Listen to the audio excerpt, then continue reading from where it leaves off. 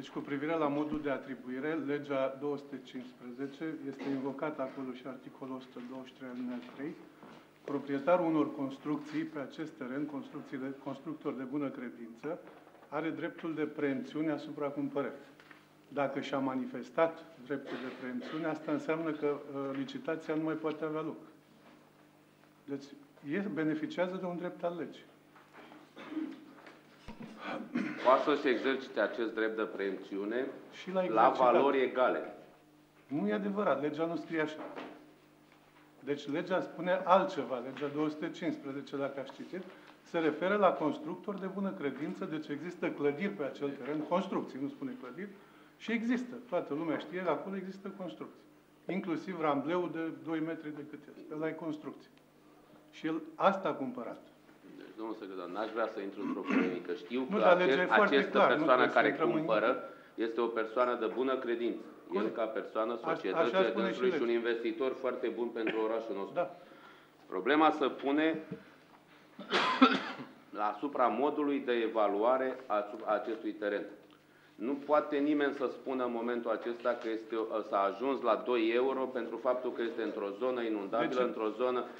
Dacă vine cineva în acest moment și îl vede la stadiu care este, nu o să creadă nimeni lucrul Deci nu acesta. confundați construcția cu terenul pe care Eu- noi îl vindem. eu știu, construcția eu este și știu. acel, acea suprafață de acel rambleu de 2 metri sau nu știu cât are. Aceea e construcție și el a cumpărat-o. Noi nu vindem construcția. Înțeleg. Dați-mi voie. Și există raport de evaluare pe care îl aveți.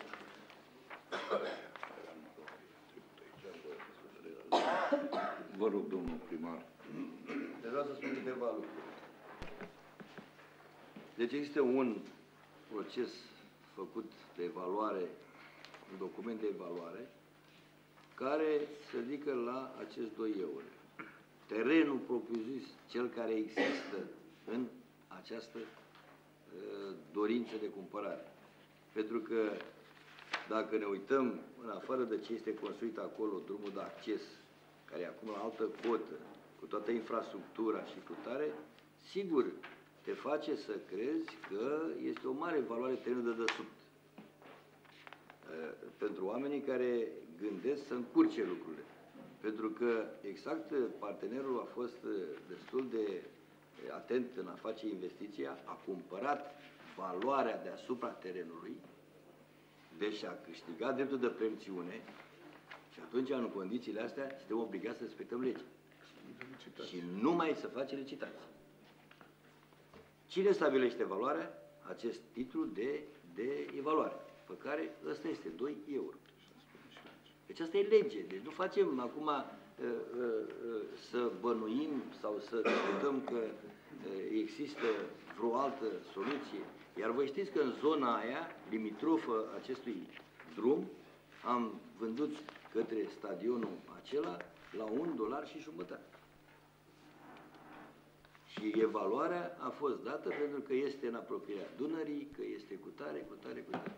Sigur, așa o să se pună problema să dezvoltăm o investiție în acea zonă, că așa sunt discuțiile, pe toată insula, peninsula aceasta Mocan, Mocanaș.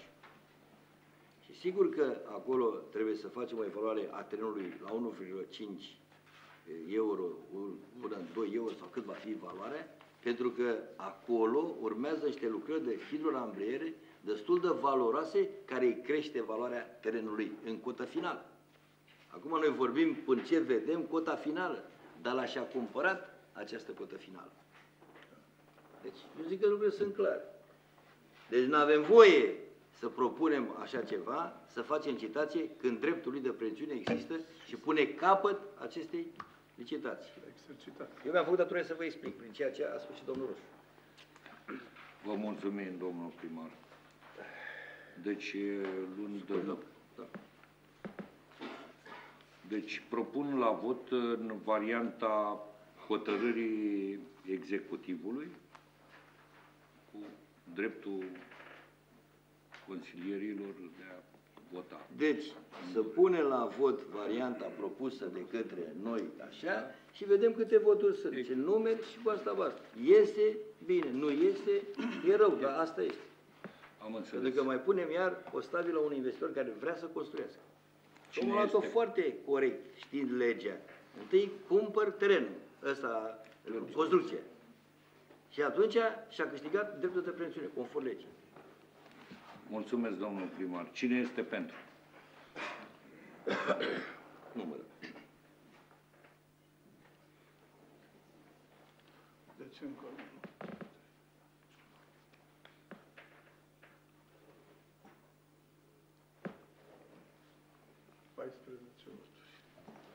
Împotrivă? Împotriva? Se abține cineva?